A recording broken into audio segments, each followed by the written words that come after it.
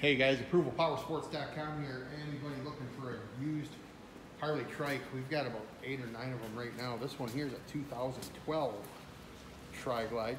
It's got three chrome wheels on it and only 10,162 miles. Super clean. Runs strong. Got a dual Vance and Hines exhaust. It sounds great. It's just been serviced at the dealership. It is ready to go.